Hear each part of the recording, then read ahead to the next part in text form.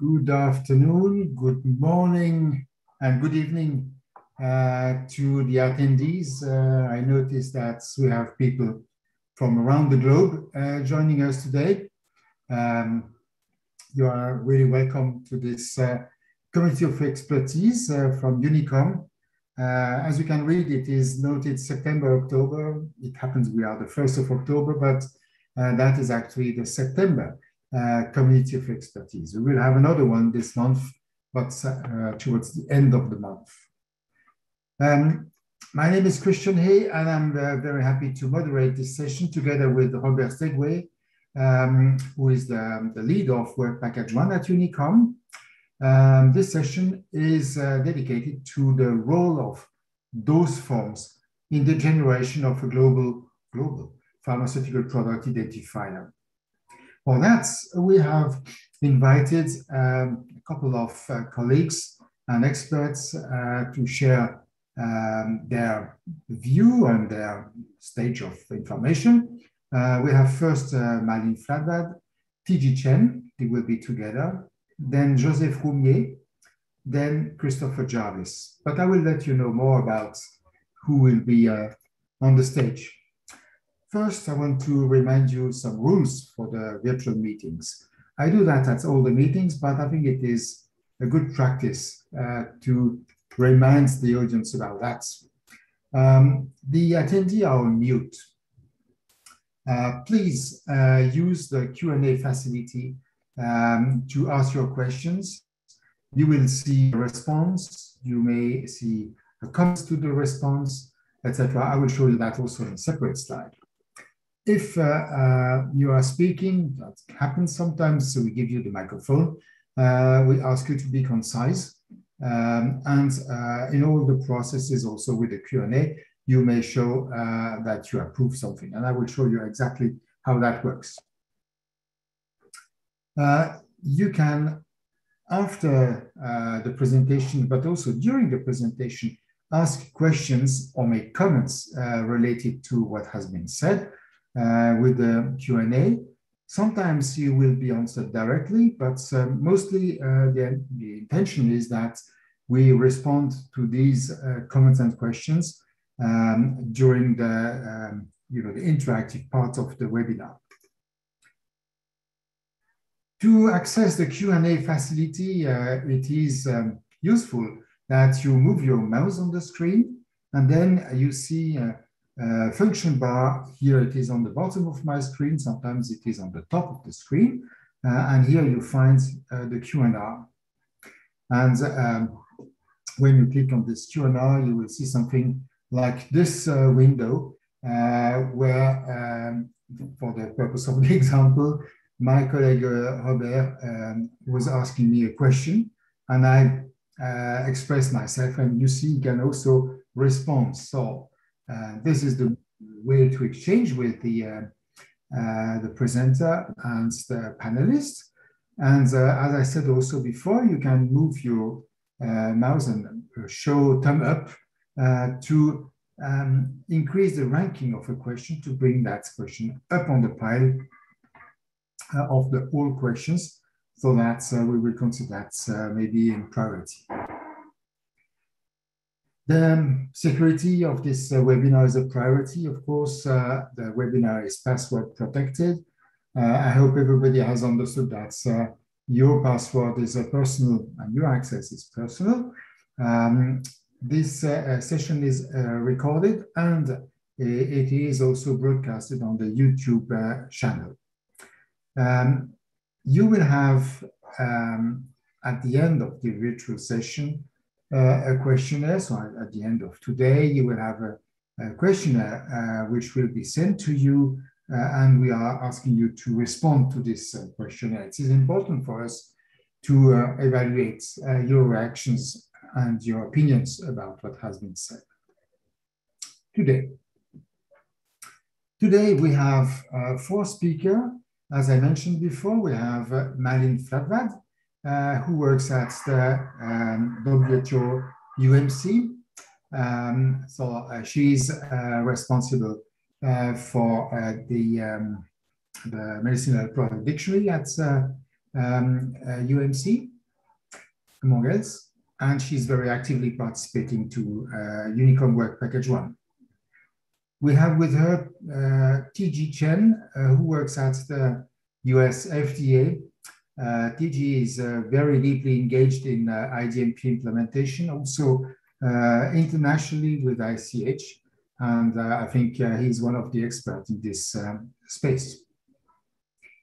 After the two uh, speakers together, uh, we have presented their views. Uh, Joseph Roumier um, will um, talk to us uh, uh, about uh, his findings. He made a, a very important investigation.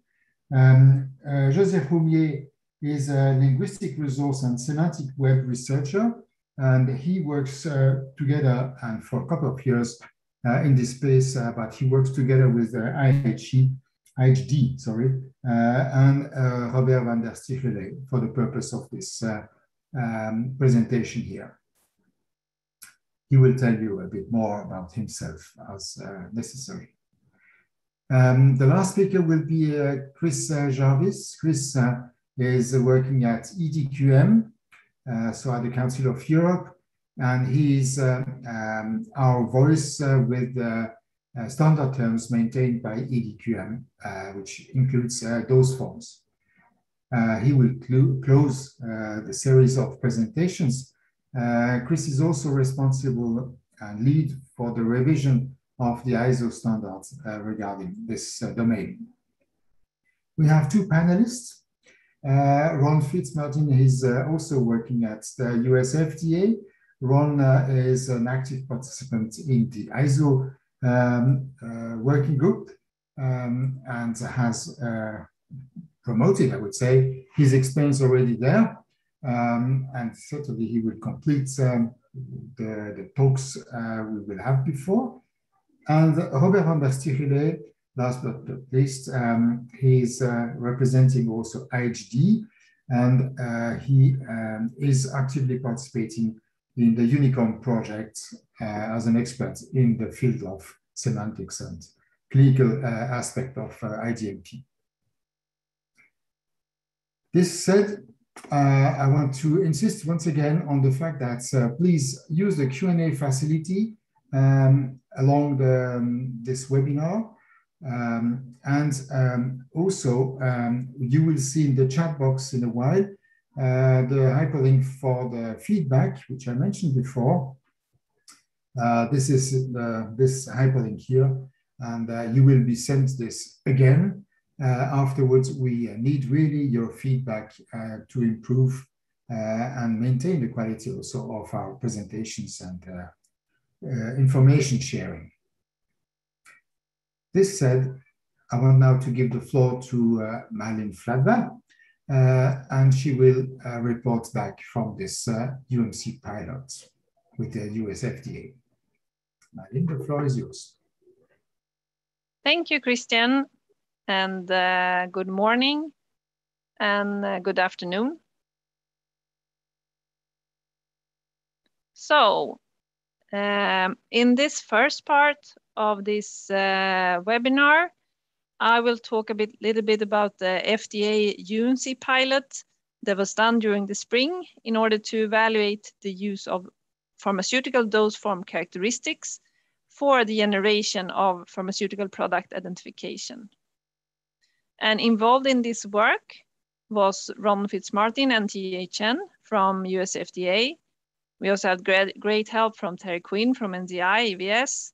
Uh, we had Julia Newman supporting from UMC, and of course, a lot of other people as well. But this was the core team. So next, please, Christian.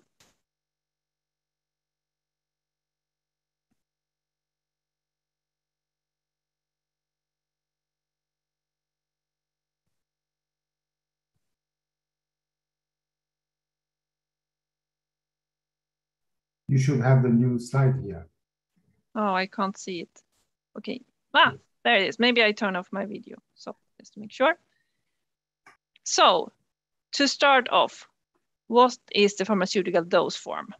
Well, the pharmaceutical dose form is built from a set of basic dose forms, which are in turn grouped according to the state of matter, for example, gas or liquid.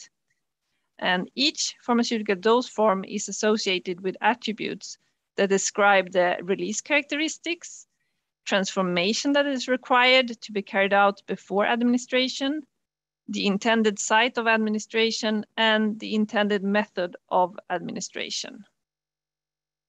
So next, please.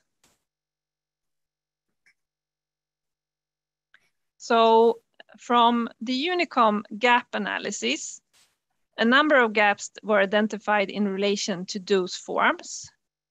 And it was highlighted that the adoption of dose forms according to IDMP standard had been difficult. So next, please. So the NCAs are in the process of implementing the standard in their own processes and are facing backward compatibility issues because of the granularity of the terminologies that varies frequently within EDQM.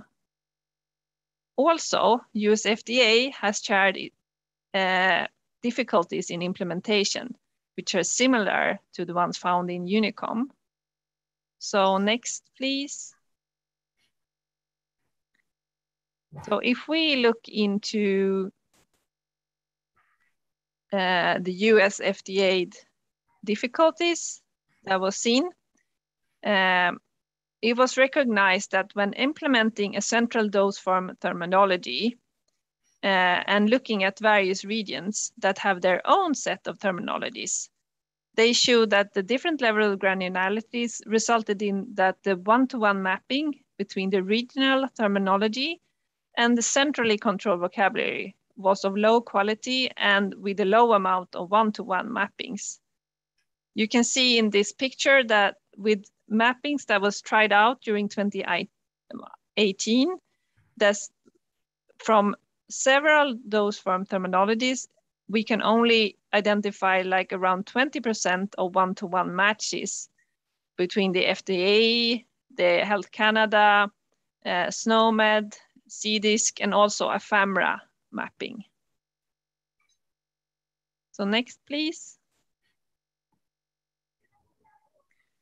So to solve the issues with mapping between different dose form terminologies, a proposal was made at the ISO TC 215 workgroup 6 to use a centrally maintained set of dose form characteristics to describe a dose form term and code and to use that in the generation of PHP ID. And to evaluate this new concept, USFDA and UMC agreed to perform a pilot study during spring of 2021. So next, please. So this dose form characteristics pilots would work by assigning the shoes, the shoes and EDQM dose form characteristics for US marketed medicinal products corresponding to a set of selected substances that was identified in the Unicom pilot product list. And it was in total 37 substances. So the evaluation that was performed on the dose form characteristics was based on that we used the administrable dose form. So if we go next, please. So here you can see that the manufactured dose forms are transformed into administrable dose forms. And if we go next,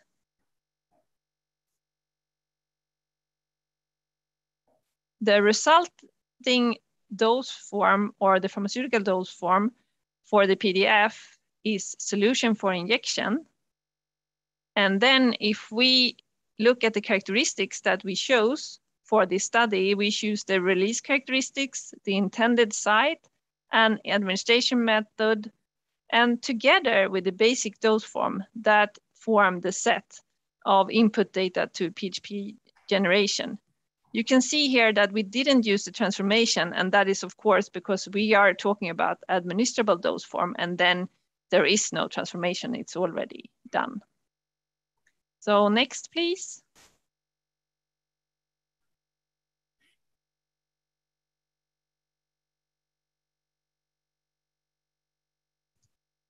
So on this slide, you can more clearly see the characteristics that we used. So you can see that if you look into the full set of data from EDQM, you have the pharmaceutical dose form, you have the state of matter, the basic dose form, the transformation, and then to the far right, you can see the what we choose for this study. So the, the release characteristics, the intended site, the administration method, and the basic dose forms that are actually related to administration method. So next, please.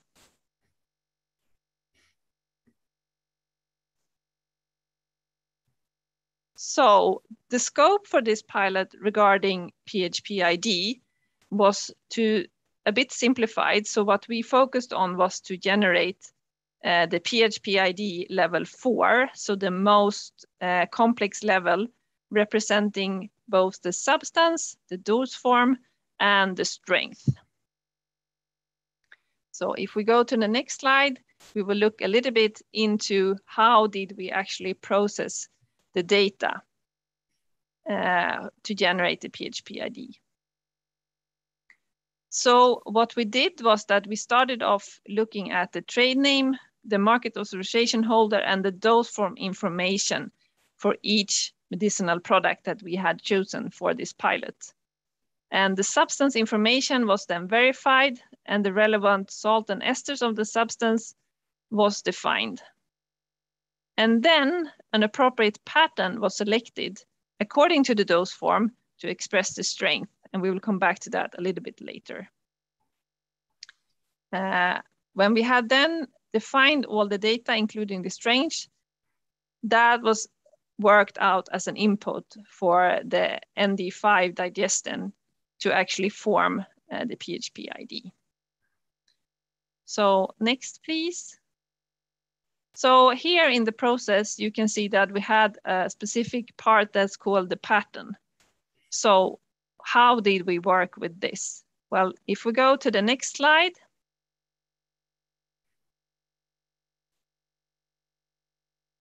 we will see that for uh, strength, well, according to the standard ISO 11616, the strength used for PHP ID is primarily the presentation strength. But for liquid preparations, the standard suggests that both the presentation strength and the concentration strength should be taken into account.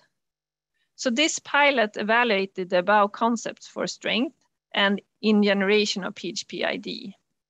And in order to find a consistent way to express the strength for different product types, a framework or pattern was developed that was actually based on the EU implementation guide for IDMP.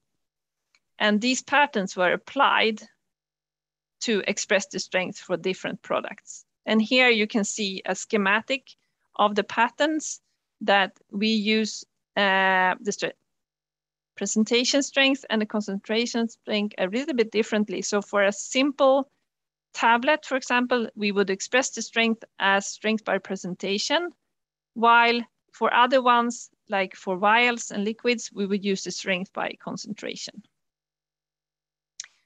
So when we had then decided on the pattern, we were ready, we went to, into the PHP generation. So if we go to the next slide, you can see a schematic of uh, what we did here.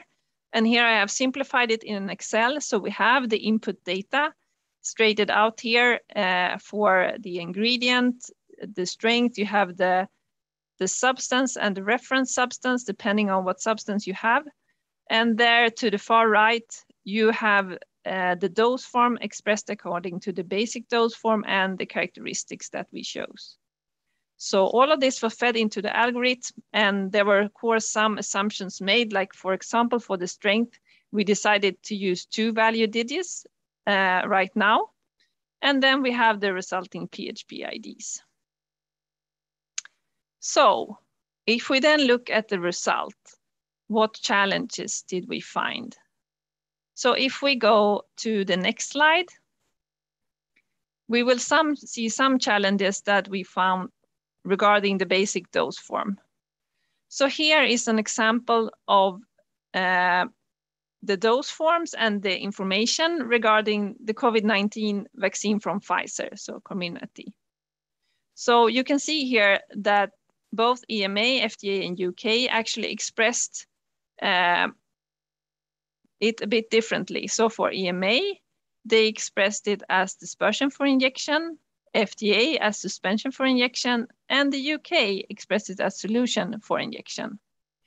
And the result, you can see here below, what, what would that make for the PHPID generation? Well, that would actually generate different PHPID because you see that the basic dose form all are different according to dispersion, suspension, and solution. So here you can really see the need, I think, for a global PHPID, that there need to be a way to, to harmonize this information if different uh, regions express uh, their dose forms in different ways.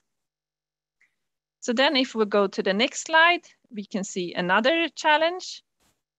And that was actually regarding uh, multiple values in the dose form characteristics. So for certain pharmaceutical dose forms, there are multiple values. So here you can see an example for a chewable tablet or a chewable dispersible tablet that the administration method is dual. So you have both chewing and swallowing uh, for both of them. So these kind of makes the expression and simplification of the numbering of the dose form a little bit complex. Um, and then if we go to the next slide, we can also see uh, some challenges that we had regarding using uh, the dose form characteristics to generate uh, PHPIDs. Uh, so here you can see uh, some tablets and some capsules.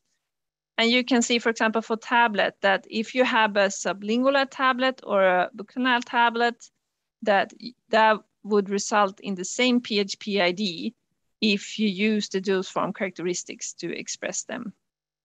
And similar is for tablet, coated tablet, film coated tablet, and also tablet with sensor that all of these would have the same uh, dose form expression. We also can see this for capsules, for example, for capsule hard and soft. Uh, we looked at a little bit a limited set in this pilot, and we could also see a bit of a similar problem with ointments but otherwise, uh, it was actually fine. We didn't get this like same PHP ID neither for infusions, oral solutions, creams, or ocular formulations. So then if we go to the next slide, uh, I think we can summarize this pilot that using the dose form characteristics for PHP generation is really working well, uh, although there were some issues identified. So there were certain dose form characteristics with multiple values. We also saw that using dose form characteristics will in some cases result in aggregation of the PHP IDs. And we also noted some challenges with strength and substance that we haven't really, we don't really have time to go into them today. So then if we go to the next slide,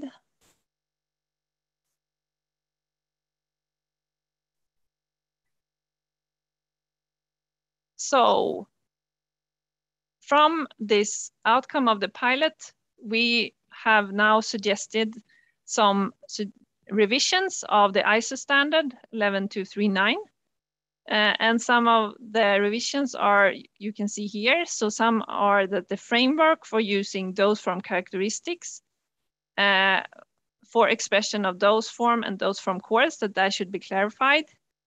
Uh, we need a framework for to address label variations in dose forms and also mapping dose forms between region needs to be stated uh, or guided uh, in the standard. So then if we summarize from a more global perspective in the next slide, we can see that the regional terminologies can be maintained if we use the central dose form characteristics for global PHP IDs. And this approach can be used prospectively and retrospectively to assign the characteristics to new or currently marketed medicinal products. We have a recommend that a single global maintenance organization assign the dose form characteristics to reader terminologies and what we need moving forward is that best practices of using essential dose form characteristics and other potential characteristics needs to be developed. So this was in principle everything from me. I don't know, TJ, if you want to comment on anything in the presentation. No, in fact, thank you very much. You make my job so easy. Uh, there's nothing else I, I would add to your presentation. Thank you. Thank you, TJ, and over to you, Christian. Thank you, Malin. Uh, thank you for this uh, interesting presentation, which gives us, you know, the, the result uh, of this very important uh, pilots um, I think uh, UNICOM is uh, the unique opportunity to uh, test the really uh, implementation challenges in the larger scale. And um, this is a, a, great opportunity also not to limit ourselves to Europe, but also to expand uh, outside of this uh, continent. And hopefully we will also have chances to expand in other regions at some point of time. Now, the next speaker is Joseph Roumier um, who uh, prepared this presentation to uh, inform us about the outcome of his uh, investigations together with Robert van der Stichelen. Uh, Joseph, the floor is yours. Thank you, Christian. Thank you, Malin. So I, I wanted to specify that um, this work has also been supported by StandICT uh, EU, which has purpose of supporting European experts present in international standardization uh, activities in ICT. So I'm going now to talk about this analysis of EDQM dose forms for the production of the pharmaceutical product identifier, PHPID. Next slide, please.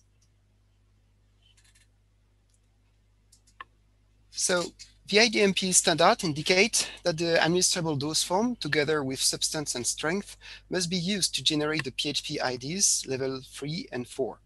The standard also refer to a global reference terminology for pharmaceutical dose forms, EDQM.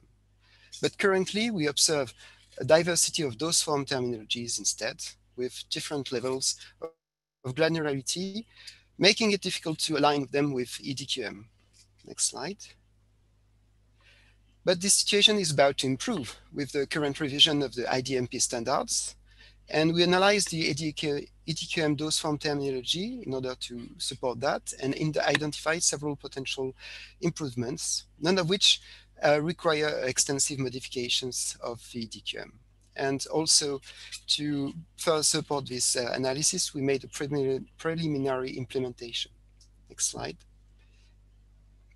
So the objective of this analysis so is to identify the changes in EDQM and for the ISO CN revision, identify so small modification to improve the characteristics, the attributes of EDQM dose forms, and also explore different combinations of characteristics of dose forms to test whether such combinations are definitional and hence useful for the global generation of PHPID, to explore the creation of a simple ontology of dose form to be used in the linkage of PHP IDs to international classification and to be used in the alignment to other dose form terminologies such as SNOMED CT, RxNorm, CDISC, and WHO drug. Next slide. So this identified points of possible improvement in EDQM starts with, with uh, working on the relationships between PDF and administrable dose form and not um, uh, the manufactured dose form. Those are different. different. Um, in EDQM, currently the administrable dose forms, ADF, are currently um, indicated when a PDF has a tag ADM-DF, administrable dose form. And um, it, it's also indicated for PDF that they can be transformed and that they are not administrable as such. The result of a transformation that occurs on the PDF is not always obvious. The question is which administrable dose form do we obtain after uh, the transformation.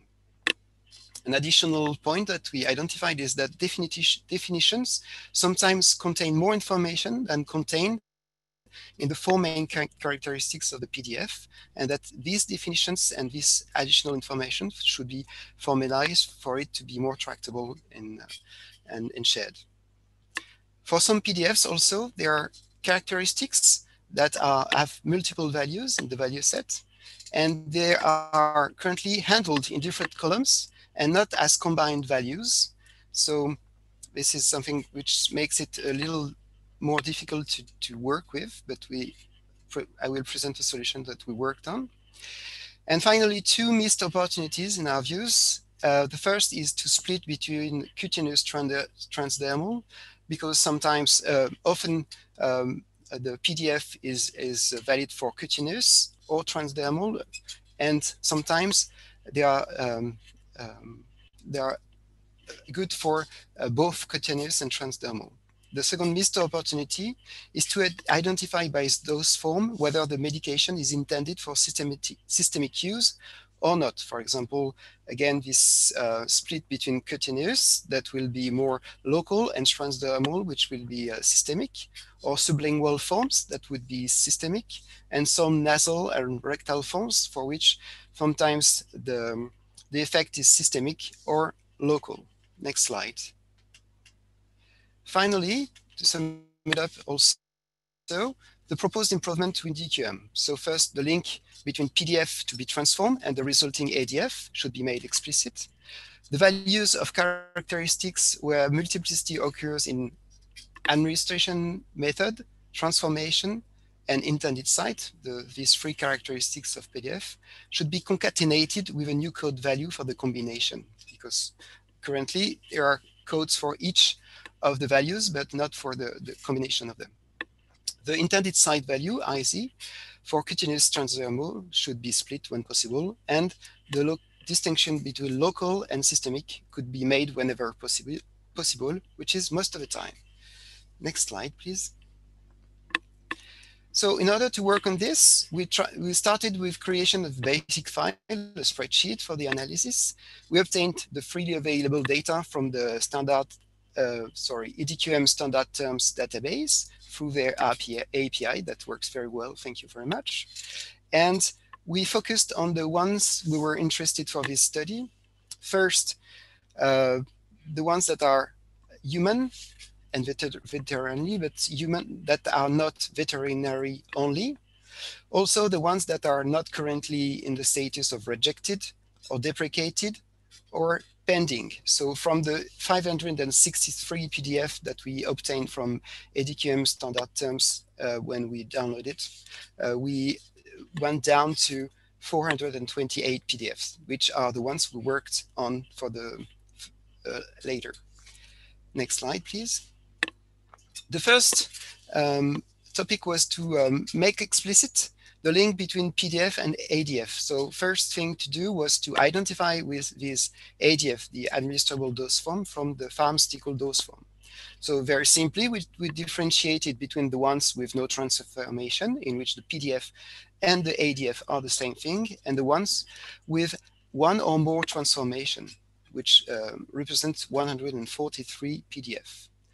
First case is when there is one transformation, 121 cases of PDF. And for them, we were able to find 114 ADFs and seven for which we did not find the corresponding uh, administrable dose form. The other case is when there are more transformation, up to four, and it corresponds to 22 PDFs, 12 with combination with no transformation. And in this case, we arrived to seven clear ADFs and 15 ambiguous ambiguous, meaning here that there can be several uh, administrable dose forms with after transformation of the PDF. Next slide, please.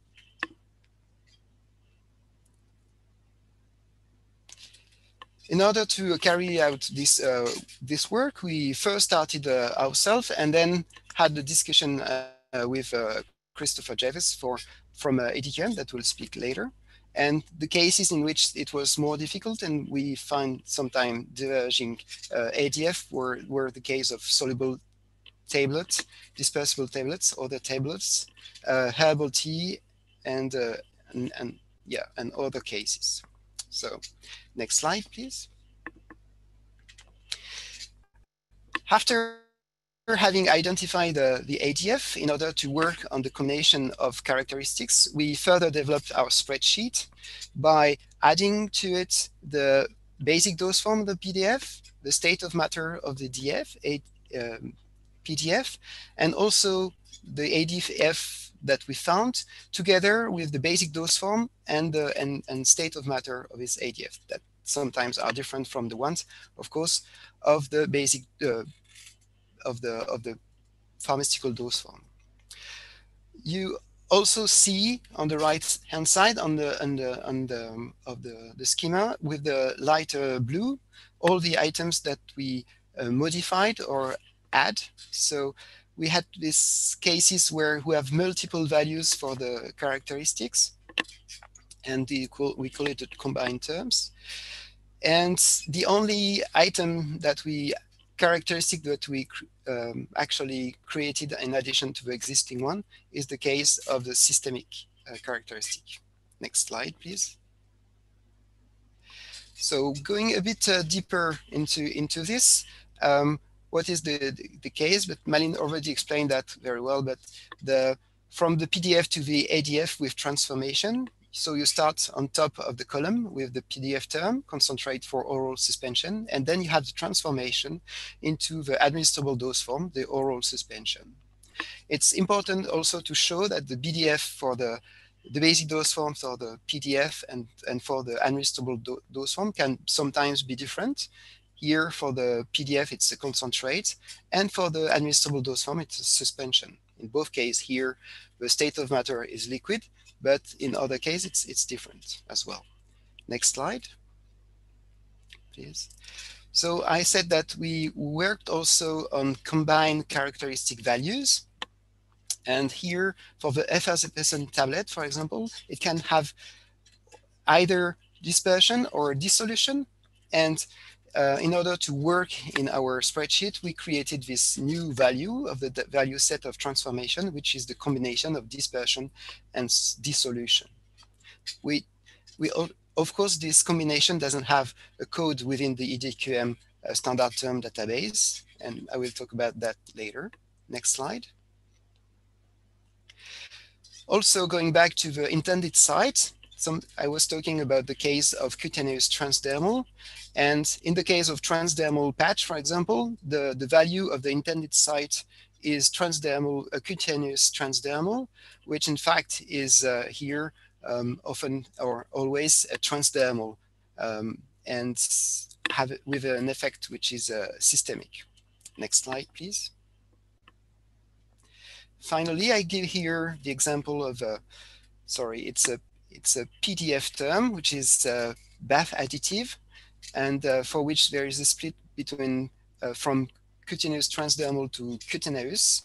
And for these values of uh, the uh, EDQM characteristics that do not do not have an identifier. For the purpose of our work, we created new identifiers, temporary new identifiers, which are easily different from the others, starting with 999. Next slide, please. So this is the end of the preparation of the of the of the file which we which we carried our uh, analysis, and then we worked on choosing the right combination of characteristics for the production of PHP IDs. We worked with these new value sets uh, created, and we tested several combinations of characteristics in order to to see the impact on the uniqueness of the, of the description of uh, the PDFs. Next slide. So this is the, the summary of uh, our uh, analysis of these, all these characteristics. So on the top line, you see the titles of the column that uh, we are familiar with now with, uh, with the exclusion of the PDF and ADF, but we have all the characteristics. So basic dose form, state of matter, um, the same for the administrable dose form, the transformation, the release characteristics, the uh, intended site, the administration method and the characteristic of being systematic or systemic, sorry, or local. The three um, uh, more important uh, columns here are the ones that show whether uh, this combination of characteristics lead to uh, the unique characterization of the PDFs, or if there are multiple uh, potential PDFs with the same uh, series of values of the characteristics of those forms. That's, and the first line, we have all the characteristics, so of the first everything, and we arrive out of 428 different PDF to uh, a result of 420 um, unique combination of values of characteristics, which is almost perfect, almost uh, definitional, if, if, if, even if it's not the case.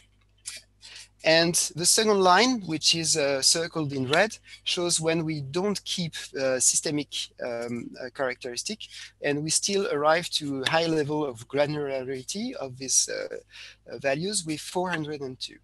Next slide, please. We also uh, kind of replicated the, the work uh, that has been done by UMC FDA uh, by selecting the characteristic administrable dose form, basic dose form, release characteristic, intended site, and administration method. And the result is 179 unique combination to describe these uh, 428 um, um, PDFs it's a it's a lot lower that than what we we managed to to do, and um, it's also comparable with the number of dose forms that can be found in the RxNorm dose form uh, terminology. Next slide. We came to an intermediary conclusion, which is that characteristic combination should not aim at containing uh, PDF, but they, they, should serve as grouping similar PDFs. And for what? To create a small ontology of PDFs to improve the alignment with other PDF terminologies. Next slide.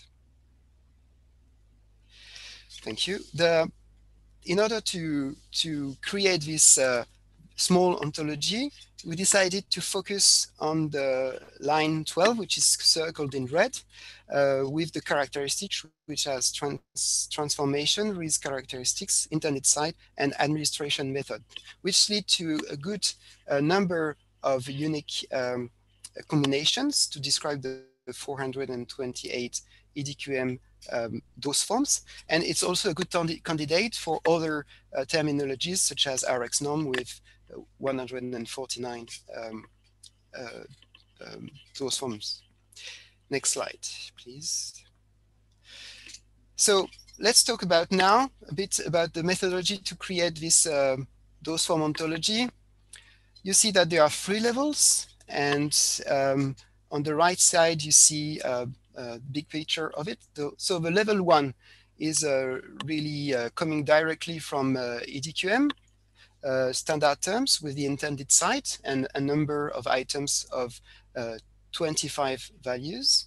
The lower level, level three, is the set, set of PDF from EDQM with 428. And the intermediary le second level is in fact the grouping of those forms according to four characteristics. The, the, the as I said, transformation, release characteristics,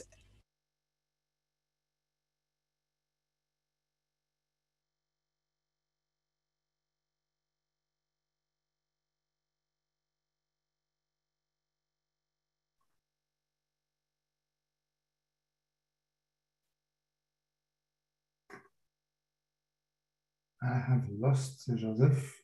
I hope I'm not the only, I'm the only one. Administration method and intended cycle. So classify the groups alphabetically according to putting no transformation. For This is manual cook example to split oral liquids in oral drops and oral liquids. And the end, the so next subsequent Jeff, step is naming the result five minutes. groups. Jeff, we missed you for five minutes. I think you okay. Yeah. Can you, yeah, can you please repeat what you said about this uh, this slide? Um, we heard what you said on the right side, level one, the okay. level three, and the intermediate. Uh, but it's better that you repeat that completely. Sorry. Okay, thank you. Sorry, I didn't realize, of course. So uh, the top level comes directly from the intended site um, of uh, the dose forms of uh, EDQM with a number of 25 items. I will show some of them later. The lower level, level three, uh, contains, uh, again, strictly the PDF coming from EDQM with 428. And the intermediate level uh, forms the, the, those form groups. And I will, with a number of 50, um, 50 items. And I will just now describe how to create this intermediate second level. So group them according to the four characteristic, transformation, risk characteristics, administration method, and intended site. Then mechanical steps of classifying the groups alphabetically by intended site. Then put PDF with uh, no transformation first in our um, spreadsheet. And the last step is the, the more subtle one with the manual concatenation and splitting of the groups based on two criterion. First, the clinical relevance, for example, putting all the oracle of those forms in one group. And second, the impact on strength presentation, sorry, for example, split oral liquids in oral drops and oral liquids. Afterwards, these uh, different groups were named in a consistent manner. Next slide, please. And this is all on the left-hand side of the, of the slide. You see on the level one, as I said, the intended site coming from uh, from the vocabularies of uh, of uh, of EDQM, and the level two uh, are you see the names um, and the and the items go, that go under auricular. Next slide. Finally, all this work was put uh, together into a, a proper uh, ontology um, that was uh, then um, worked on and commented uh, within this platform which is called Web Protege, which is an editor and a place for interactions around ontologies. And you see on the left-hand side, um, highlighted in blue, the level two, which are the the, this new intermediary level that you created. And under, under this, the, all the, the uh, EDQM standard terms uh, PDFs, level three. Next slide. Finally, in order to, to go a bit further, we worked also with Natalie Karapetian from Harvard, Harvard sorry, to, uh, to, to use this, uh, uh, this intermediary level and to, to show how um, the, the, those forms from um, uh, RxNorm could be put in the uh, with the help uh, aligned with the help of the of the of this intermediary level. The numbers are uh, granularity are really different with EDQM, which has 428 uh, dose PDFs, and RX norm with only 149. So, but you see that's the same structure at the higher level. And uh, under auricular local dose form, you've got um, like around 15 uh, PDFs for EDQM on the left and three on the on the right hand side for RxNorm. The next step is to work with uh, the SNOMED CT uh, dose forms. And uh, but we think that connecting uh, SNOMED CT would should be uh, uh, easy or easier um, because there are more similarities. Last slide, please. Conclusion. So this proposal for small modification of the EDQM standard terms can fulfill several goals. First, it provides a correct basis for the analysis of combinations of characteristics.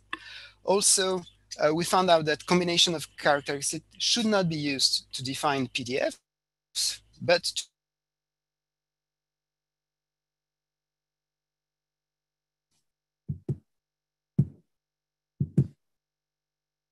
to group them. And this is helpful for linking PhPIDs to through higher aggregation of those forms in the context of INN prescribing and substitution.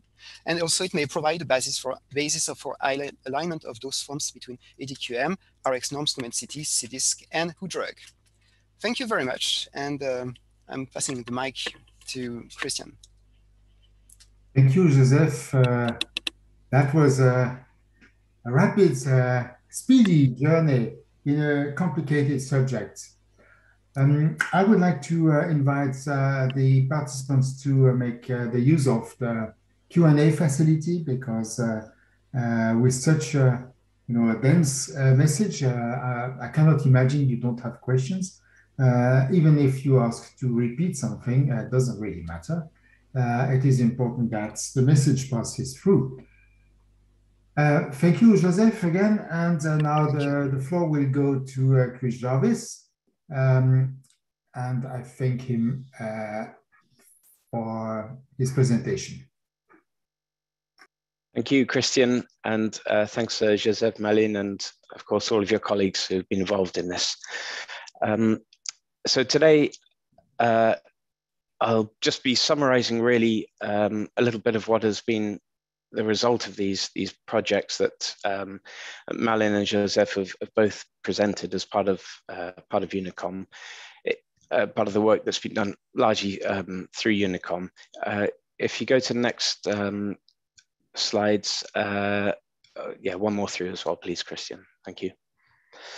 And uh, really, there are there are two things which which um, are being proposed from this this work. The first is to update the, the standards um, 11239 and the implementation guide, the technical specification 20440 related to these um, uh, to the pharmaceutical dose forms, but also the other other controlled vocabularies.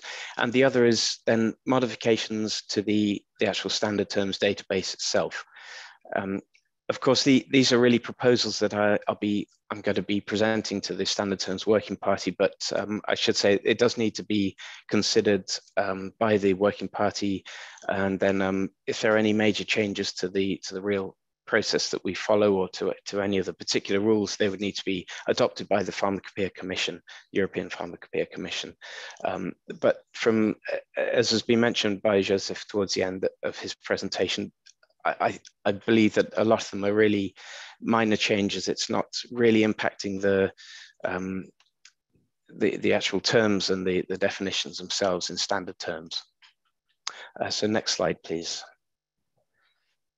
So the first issue I was going to, uh, I'd, like to talk about is the, the, the fact that the, the dose form attributes um, were written in the standard in such a way that they were not intended to be used directly themselves. They were really just meant for grouping and, and indexing the pharmaceutical dose forms. And as we've gone through implementation, it's become clear that it would be advantageous to, to actually promote the use of the attributes themselves directly. Uh, that'll mean that we're going to uh, need to make some changes in the ISO documents, just mostly about, around the wording on how they are. Um, they're not just for um, indexing pharmaceutical dose forms. That there are certain use cases where they can be. Um, it can be useful to use those directly, where a pharmaceutical dose form, an entire full pharmaceutical dose form, might not be appropriate. So there's a section will be involved that, that will be um, added in, uh, around that subject. Uh, at the moment, there's uh, three use cases I've uh, I've included in the standards, uh, just generally describing them, um, grouping related pharmaceutical dose forms for prescribing purposes, uh, representing concepts from a different controlled vocabulary. So that's really covering what um, Malin and uh, um, TJ and what the, the first presentation covered with the FDA um, the FDA work. Uh, a lot of that was was the driver behind the, the revision of these uh, dose forms, um, which which Ron has uh, uh, presented a couple of years ago. And the third one is uh, considering how to exploit adverse event reports that don't contain the full information because often you're not going to you're not going to have somebody turning up with the medicinal product packet and they might only have a limited amount of information, especially if it comes from a patient who's not necessarily uh, entirely um, up to date with the with the standards and the, the, the terms that we use. Uh, next slide, please.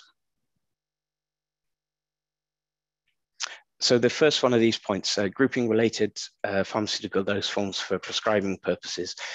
Uh, just to give an example of the si situation, you, you, could imagine uh, for example, that a, a prescriber might uh, might have a, a, certain amount of information that that they, they want to, to put across, and they have certain requirements, such as uh, they want to give a patient uh, amoxicillin 500 milligrams orally three times a day for seven days, but they don't really care what the specific pharmaceutical dose form is. Um, in which case, they might not wish to select necessarily a, a pharmaceutical dose form, but they, they might just say, well, we, we need it to be an oral preparation, a conventional release one. And they, they might, a, prescribing system might, might allow them to, to select some of these attributes. And then from there, they could either go and choose a specific product or a specific uh, pharmaceutical dose form, or uh, you know, as it might even be able to, to leave it up to the dispensing pharmacist. Uh, so in this case, for example, you might have a conventional release taken orally, and it could be a powder for oral suspension, it could be a tablet, it could be a hard capsule. Uh, the use of the of the attributes in this way allows a little bit more flexibility for the for the prescriber. Uh, next slide, please so now the second one is uh, really referring to the work that uh, Malin, TJ, Ron, and uh, and all of their colleagues have, have taken uh, have been working on for the last, um, I, I, guess it must be a year now, um, at UMC and FDA, um, um, and this is where the, the, main issue of trying to harmonize and um, uh, find a find a common terminology, a standardized list of terms which cover products from all over the world, bearing in mind how different some of the granularities are between the, the dosage forms used in Europe, the dosage forms used in the US, used in Japan, everywhere like that. And uh, the solution that was being that was proposed and that was tested in the, the pilot was uh, instead of uh, having to select a specific dose form, to, to base it on this the list of um, uh, attributes from, from the standardized terminology, from the EDQM terminology. Uh, one thing that's worth remembering is, of course, the PhPID describes the administrable pharmaceutical product. So it doesn't take account of whether the, the packaged product is a powder for solution or whether it's a solution as it is. It's just what's administered to the patient that's most important. And, and this is why um, you'll see a lot of the, the PhPID, the dose forms used for PhPID, the list is a lot more restrained compared to the full list of, uh, of dose forms that are available. Uh, so here, for example, you, you might have um, um, a, a, term used in the US the, that would be converted into uh, these four attributes. The basic dose form would be a solution release characteristics, conventional, intended site, parenteral, and administration method injection. Uh, if somebody from Europe, for example, chose to use the, uh, was using the, the standardized PDF, the, the, um, the standard term, that particular term carries those very same attributes. And what this means is that whether you come from the US side and you uh, fill in these attributes or I say the US side because, of course, they were deeply involved in the in the pilot. So whether you come from a region that chooses to use the attributes, or whether you come from a region that chooses to use the the, the, the standard term, the, the pharmaceutical dose form, the result is that you would have these same attributes. And if everything else was equal, the substance, the strength, then the global PhPID would end up being the same. Uh, regardless of whether you use the dose form or whether you use the, the attributes. Uh, next slide, please. and yes, the third example was, um, as I said, if you if you have a an adverse event report, and for example, perhaps the uh, the person making the report is the patient or um, a carer for the patient, they don't have the medicinal pa package with them. Uh, the name, for example, they might not remember the trade name. They, they just know the, the substance name, the INN, for example. Um, the strength, maybe they can't remember that. Maybe they have an idea. And the pharmaceutical dose form, if, if they say, well, I know that there are a load of capsules and tablets. Um, it's a solid, it was taken orally. I don't know exactly which one it was. It's limited information, but um, using these PDF, the pharmaceutical dose form attributes, it can still provide useful information. And it's possible that with this combination, you might immediately be able to identify the medicinal product, or at least the, not necessarily the, the specific brand, but you could, you could identify the sort of product it is. Um, even if you can't do that, it could be useful for um, aggregating adverse event reports. So I think that there's a very big advantage for um, making these uh, attributes available for adverse event reporting in case um, you know the, the, the pharmaceutical dose form cannot be definitely identified. Um, uh, next slide, please, Christian. Uh, one of the other questions that has been raised and was uh, addressed with uh, Christian Robert's work was the proposal that the pharmaceutical dose form attributes um, be it be considered whether they should be definitional. Um, uh, just to clarify, this would mean that each dose form would have to have a unique set of attributes and no two dose forms could share the same set. Um, the problem is that this might prevent the, uh, for example, uh, EDQM working uh, standard terms working party from including nuances that might be necessary to distinguish between terms and definitions uh, uh, for, for similar products, but ones that have perhaps um, differences that really need to be pointed out, or it's very helpful to have them pointed out. Uh, if you go to the next slide, please. Um, here I've got a, a sort of um, a mock-up, well, not a mock-up, but uh, parts of screenshots from the standard terms database where uh, one of the search options is to search by the pharmaceutical dose forms by characteristics. And if you go into the, the, the search menu at the top, this is the, uh, I think it's the last option on there. And here you can put in all of these different characteristics. And there, for example, I've, I've chosen the um, uh, tablet, conventional, no transformation, um, oral site, and intended administration method is swallowing.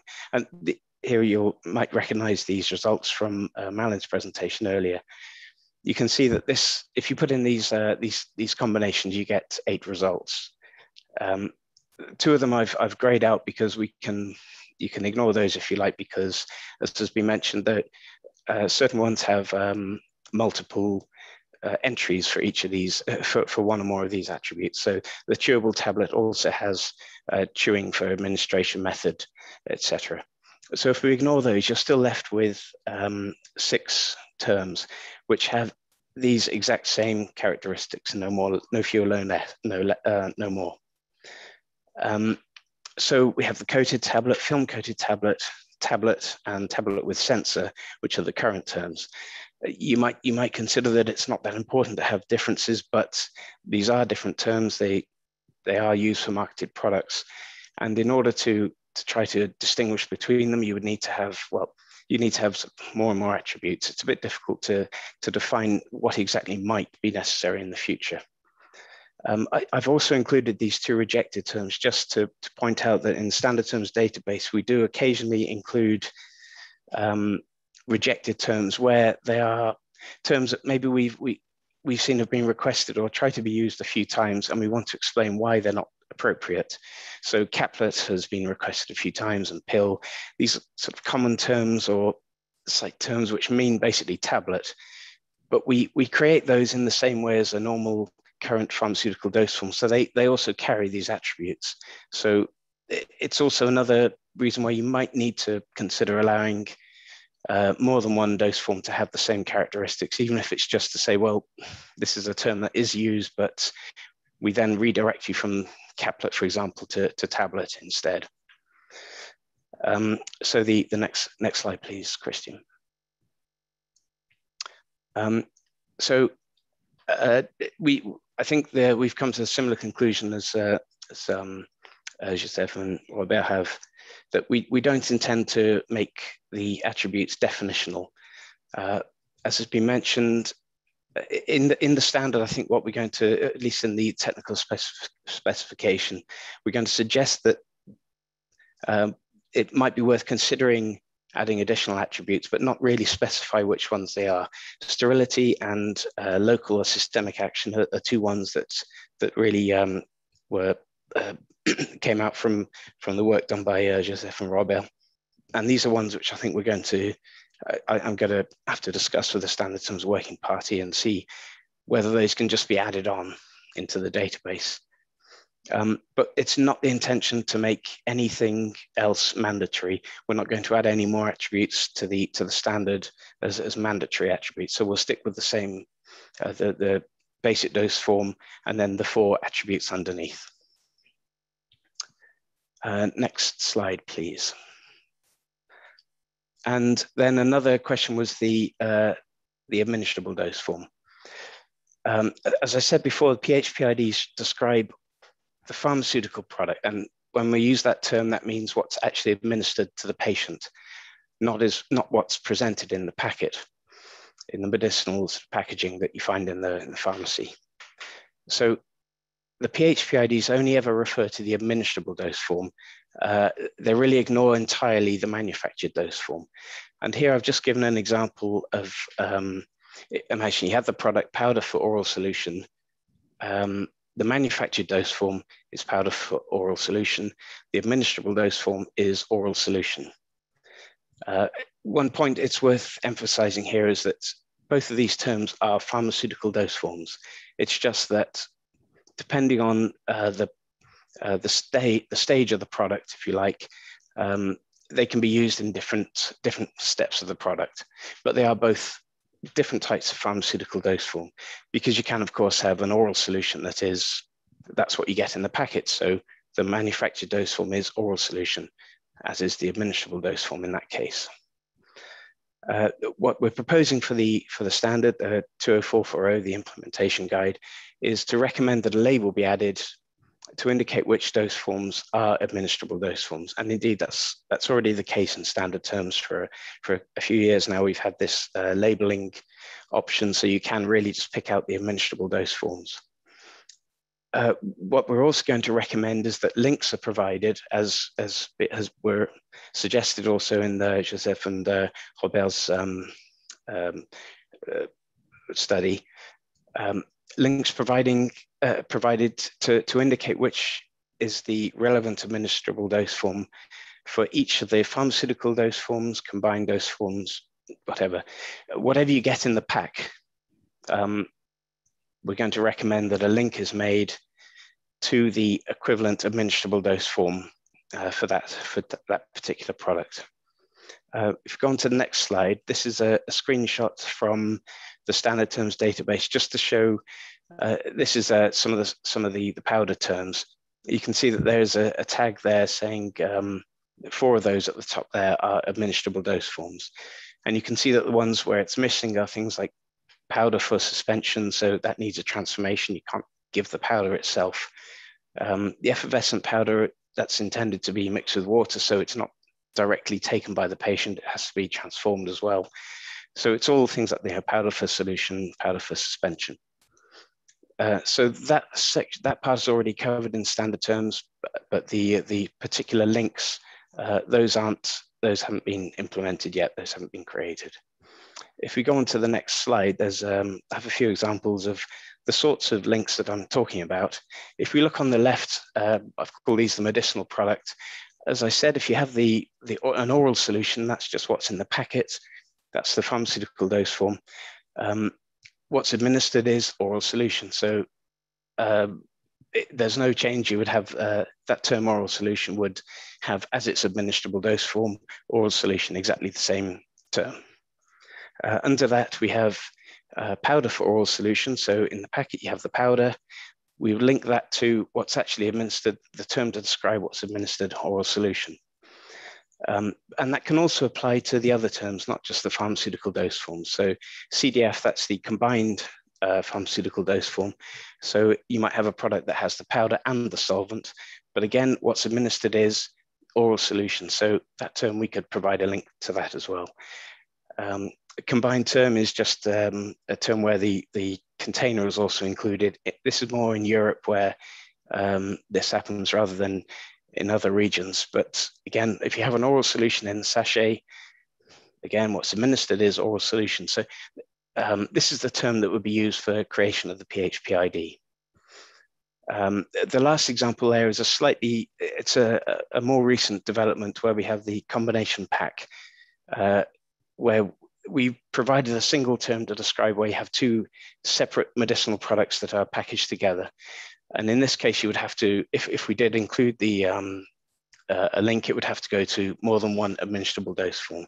But they're, they're fairly, that's a fairly uh, small use case. And I think it could still be useful. It, I don't think it would do any harm to provide that sort of um, that sort of link either.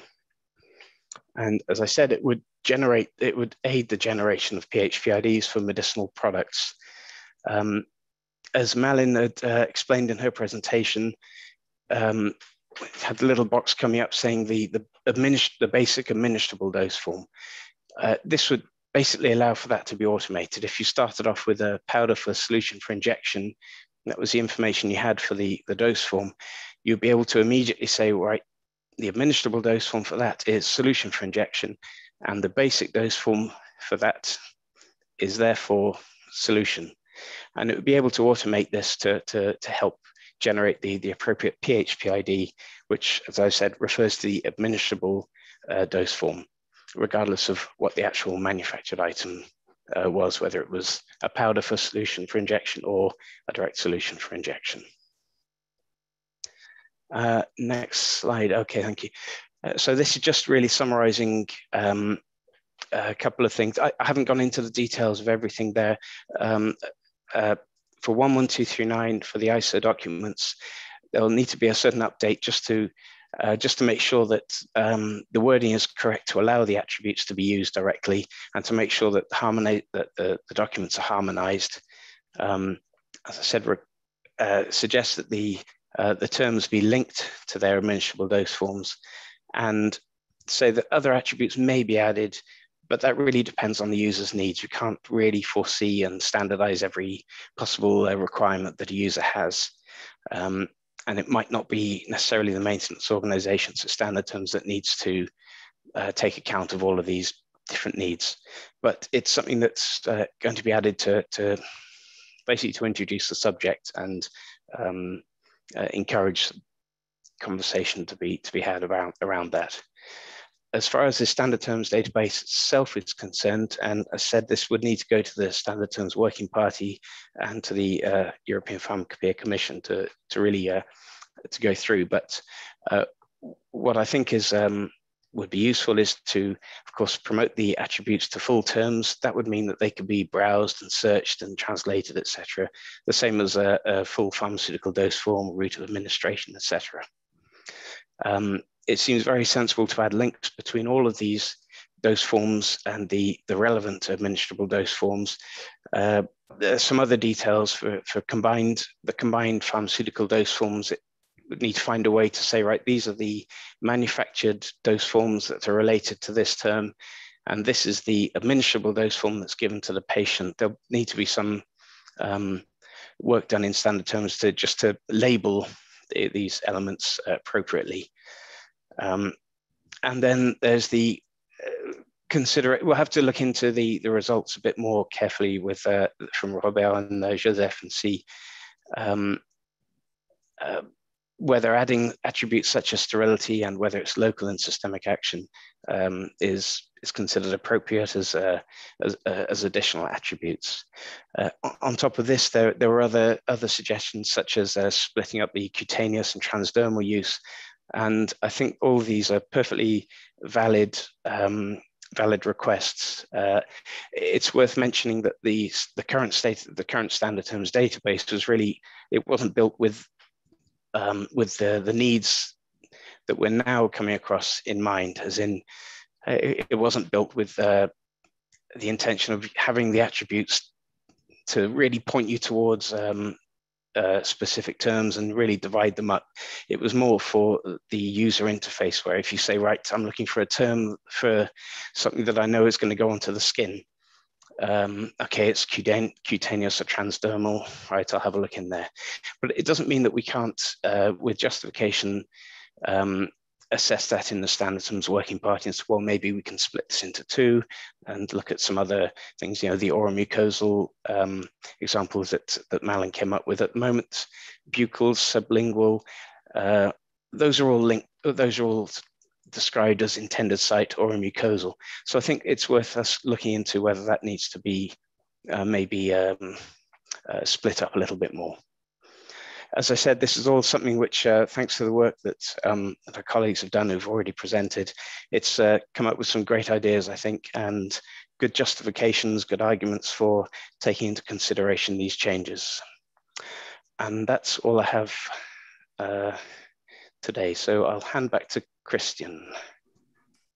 Thank you, Chris. Uh, well, um, it has been again a very dense uh, presentation about the, the state of thoughts and um, the journey, uh, including the revision of the ISO standard, which is on the way. Um, thank you very much for this. Um, I notice at the moment that uh, we don't have any question in the Q&A facility, uh, but uh, I encourage you to do so, um, dear participants. And also I encourage you to uh, fill the form. Uh, you find in the chat box also the hyperlink to this form. This said, I know that one of our participants has a lot of patience uh, Jeff Martin has raised the hand and I want to give him the, the floor. Uh, he, I think he was asking the, the floor already during Joseph's presentation. Um, so uh, Jeff, uh, you are enabled, yes. My, my first comment, uh, thanks very much for presentations. My first comment is that we can't write either neither in the Q&A or the chat. They're both turned off for us. That's why you haven't got any questions there. Oh, oh, um, that is a bad news. okay. okay. But the chat box, that's it is disabled. I know, but uh, the no, the Q and A, I can't type anything in there.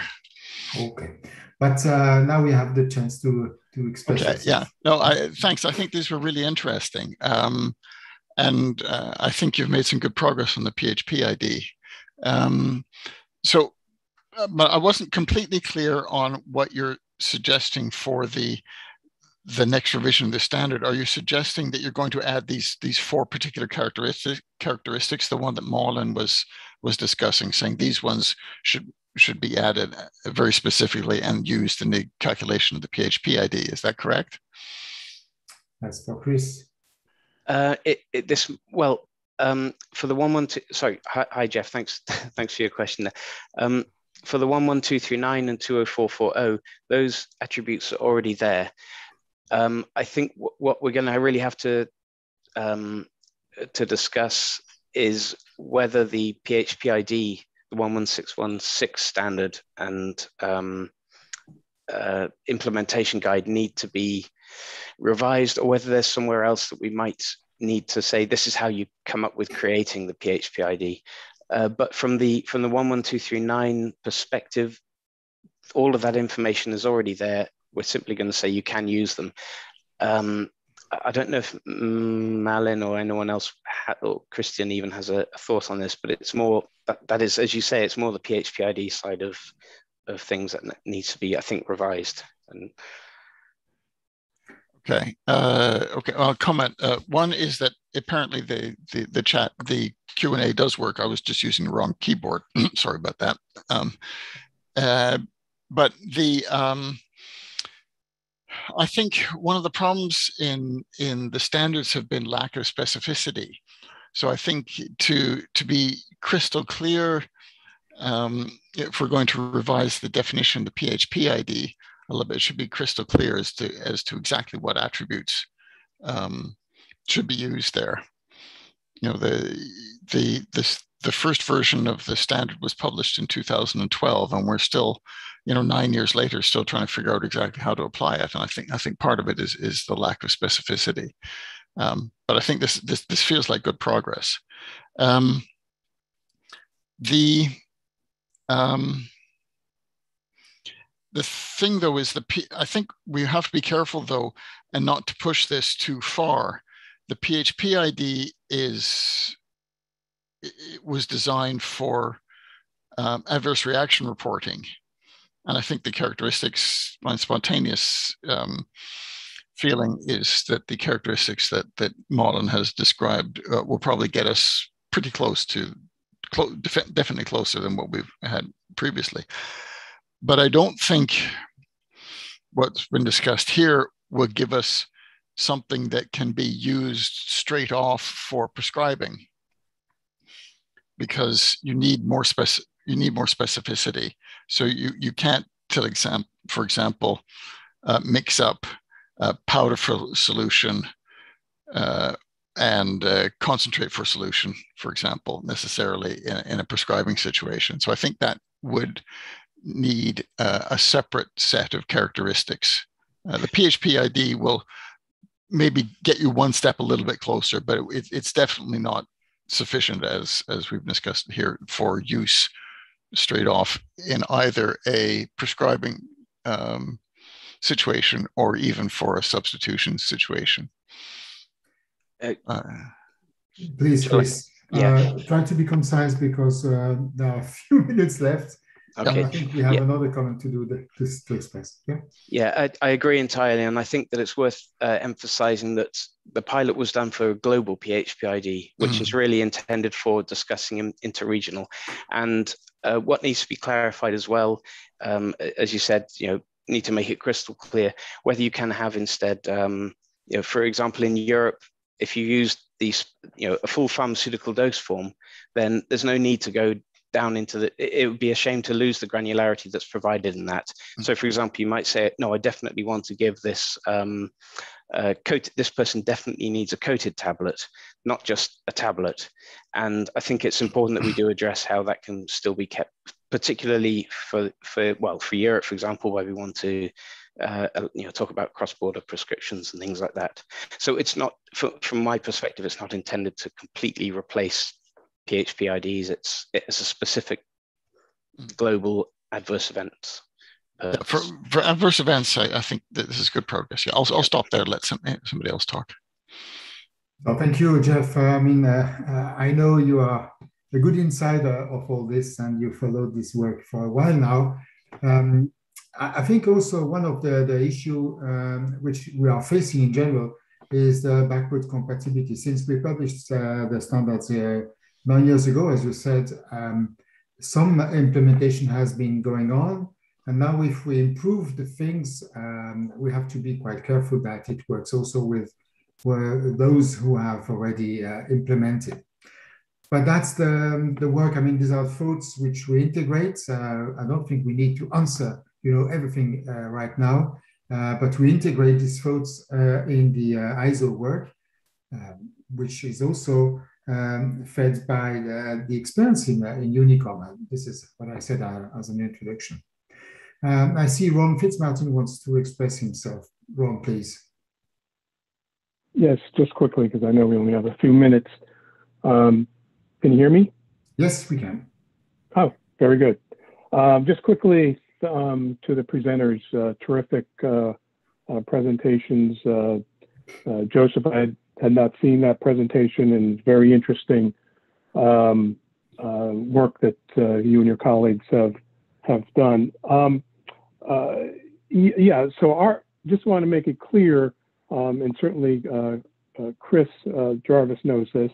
Um, the intent of the FDA UMC pilot was um, primarily focused on the use case of pharmacovigilance and um, being able to calculate the eventually calculate the global PH, PhPID for that, um, knowing that there's other use cases um, globally and certainly regionally. Um, Chris, um, I, some new slides from you, and really appreciate the. I think it was slide 66 about linking um, the administrable uh, dose form. very interesting there. I think some of the issues um, that we found with this pilot. Uh, I mean, we learned a lot of things from the pilot and uncovered a lot of uh, issues as well. But I think um, for everyone on the on the call, um, we do not plan to stop here. We do feel that uh, the work that Chris presented about uh, uh, the updates to the uh, ISO documents needs to move forward. But we we also are committed to doing additional pilots to um, find out whether there's ways to uh, um, to reconcile some of these issues that uh, we found. Maybe maybe it is. Um, maybe there is another attribute that needs to be added to the mix for a particular use case. I understand um, the EDQM terminology set, so maybe it's not there, but maybe it's with the maintenance organization for a particular use case. Maybe we do need um, another uh, attribute. Um, but I think all of that um, can will be worked on in the coming uh, months. Uh, thanks, Christian. Thank you uh, and welcome, uh, Ron. Uh, we are coming to the end of this um, committee of expertise, and we have one um, pending remark in the Q&A, which did work by chance. Um, I think it's it's a comment, and I will just read it for, for the sake of everybody that we have heard it um, we cannot answer that really uh, yet. But we, as I said, we take these things, uh, this information into consideration. Um, so Gunhild uh, wrote the need for a prescription for a patient to get in a pharmacy and a prescription in a hospital is different with respect to group concentrate, solution, and powder in the same group. We take this um, uh, as a kind of a comment uh, and we will integrate that in our thoughts, in our work. Um, uh, we, we have a lot uh, in front of us, as I tried to express before. Um, at the same time, we are revising a nearly 10 years old standard now.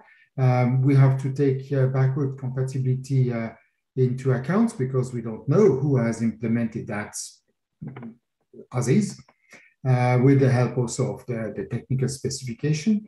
Um, but we want to improve. Um, and uh, the end goal, uh, it's, it's all that is a little bit federated. You know, the end goal is to have one single global PhPID because that is required, especially for adverse events reporting and analysis. But that doesn't exclude that we have regional PhPID as long as they are linked to the global one and the regional one may respond to other needs. It's not against the IDMP standard, which are uh, more flexible than we think, but the, their structure, which you saw in the, um, uh, the wedding cake, you know, with uh, the three blocks, uh, including the dose, um, then the pharmaceutical products, the blue cake, and the green one on the bottom. This is the, the structure which has to be uh, fulfilled uh, to make that standard work. And all that must be linked to something global. Otherwise, we are completely losing the benefit of uh, IDMP. Is it for adverse event reporting or is it uh, for any other use in the clinical space? So that were uh, my just a few words to try to conclude this uh, very dense uh, discussion we had. I would like to thank uh, our uh, speaker today. They had um, a very hard task um, to address something which is not, uh, I would say, the most attractive uh, in the IDMP uh, piece of work, but it is extremely important and we concentrated on this important aspect of the dose forms today and we hope that we contributed to bring clarity um, to our um, uh, participants and also that uh, their reaction um, uh, help us also to uh, continue our journey to make this standard better. With this, I wish you an excellent continuation of the day if you're on the west, a good night if you're on the east, and a good afternoon in Europe. And I give you rendezvous for the 26th, if not 29th of uh, October for the next Community of Expertise. Goodbye and thank you. Keep safe.